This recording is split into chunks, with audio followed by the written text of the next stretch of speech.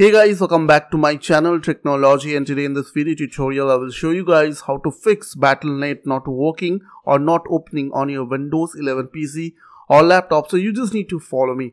So firstly what you have to do, you just need to right click on your uh, Battle.net icon on your desktop. Click on show more option over here.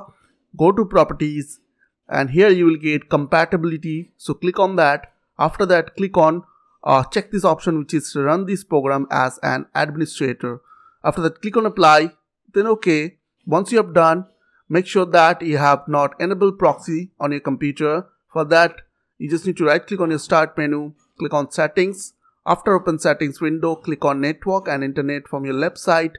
On your right side, you will get proxy.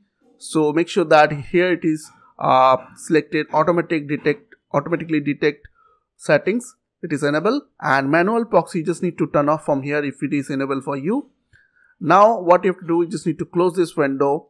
After that you just need to just go to your start or search menu and just you just need to type over here services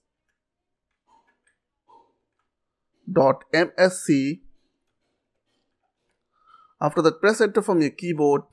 Once you have opened services window you just need to find uh, the option the service called secondary logon. So right click on that go to properties here you just need to startup type, startup type, you just need to select here automatic, click on apply, then okay. Once you have done, you just need to restart your PC and try to open Battle.net. It will fix your problem. So I hope this quick tutorial will really help for you.